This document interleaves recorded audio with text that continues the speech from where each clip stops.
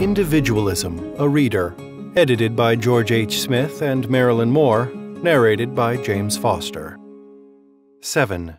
From Two Discourses on Liberty, Nathaniel Niles. Two Discourses on Liberty, 1774, American Political Writing During the Founding Era, 1760 to 1805, Volume 1, edited by Charles S. Hyneman and Donald S. Lutz, Indianapolis Liberty Fund, 1983. The American statesman Nathaniel Niles, 1741 to 1828, was a graduate of Harvard and Princeton, where he studied law, medicine, and theology. Niles served Vermont in both the state and national legislatures. In the passage excerpted below from his political writings, Niles argues that social and political change begin with the individual. Ages are composed of seconds, the earth of sands, and the sea of drops too small to be seen by the naked eye. The smallest particles have their influence.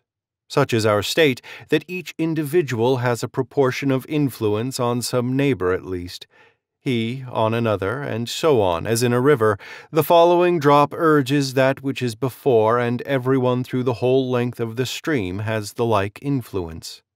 We know not what individuals may do. We are not at liberty to lie dormant until we can at once influence the whole. We must begin with the weight we have. Should the little springs neglect to flow till a general agreement should take place, the torrent that now bears down all before it would never be formed.